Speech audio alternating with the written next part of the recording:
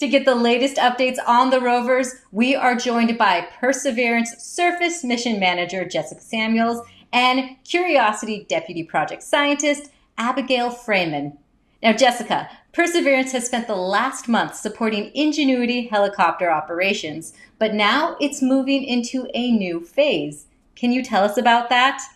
Right. So, with this recent fifth helicopter flight, we're transitioning from the technology demonstration phase to more of an operations demonstration phase as we now turn our attention more towards the robotic arm science based portion of the mission and as we prepare for the sample acquisition phase of the project. This past week, we completed our first close up robotic arm science target observation by the SHERLOC instrument.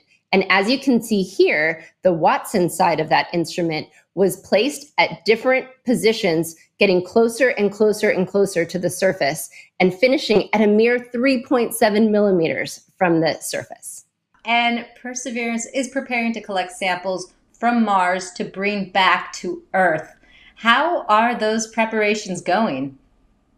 Right. Well, in order to ensure that we are ready for this first one of a kind leg of collecting samples and preparing them to bring them back to Earth, we need to ensure that we can safely place and load the robotic arm on the surface of Mars. So we first did this by loading the core drill and pushing against the rover itself, as you can see here in this image. The next day, we successfully demonstrated the capability of placing the core on the surface of Mars. And Perseverance has been on the move. How far has the rover driven? Perseverance has driven 345 meters so far. Over the next couple weeks, we hope to continue to check out more of our autonomous navigation capabilities and are excited about the hundreds and hundreds of meters ahead. Thank you for that update, Jessica. Now we'll turn to Abigail. Perseverance is the new rover in town, but Curiosity is still doing science in Gale Crater. What are some of the big stories coming from Curiosity and your team? Well, Curiosity, we're continuing to climb Mount Sharp. We just wrapped up our exploration of the Glen Torridon region, and we're now on the hunt for the zone where we know the rocks will transition from being these clay rich rocks that formed in ancient lakes to salty rocks filled with a mineral called sulfate. We began our hunt for this clay sulfate transition at a region we informally named Mont Mercou. And we parked at the base of uh, Mont Mercou, where erosion has cut away and made this big 20 foot high cliff.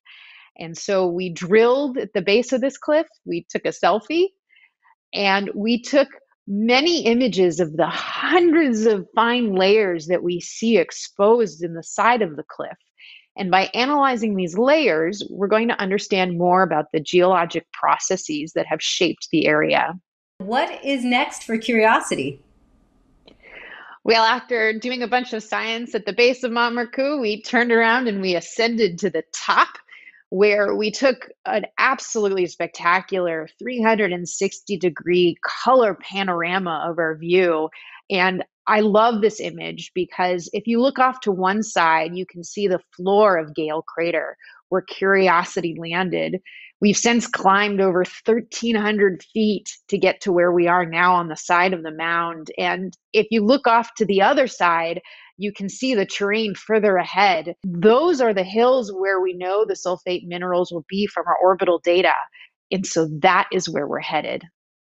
Thanks for the update, Abigail. And take a deeper dive on the mission websites mars.nasa.gov slash perseverance and visit mars.nasa.gov slash MSL for the Curiosity rover. And follow at NASA Persevere and at Mars Curiosity on social media.